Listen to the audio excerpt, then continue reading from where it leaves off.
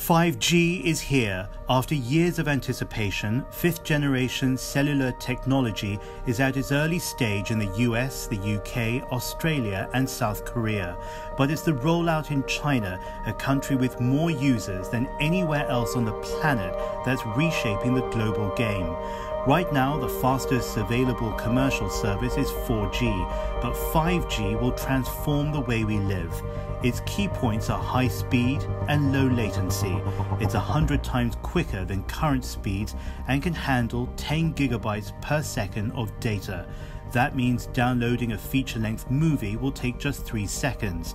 But it's not just your internet, where 4G allows us to watch YouTube on our phones and stream films on our tablets. The 5G era will revolutionize what we currently have and offer much more. From smartphones to smart cities, the power this new generation will unlock endless possibilities in the future. Augmented reality and virtual reality will take on a new level of enhanced user experience. Driverless cars will jump out of the lab and onto our roads, and the possibilities of AI will only be limited by our imaginations.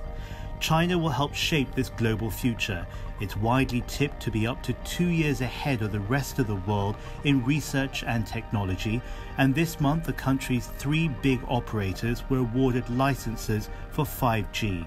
That means if you're using China Mobile, China Unicom, or China Telecom, you may be able to access the newest generation in mobile communications from as early as next year.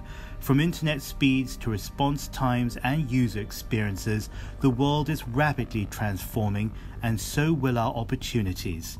This is James Chow for the China Current.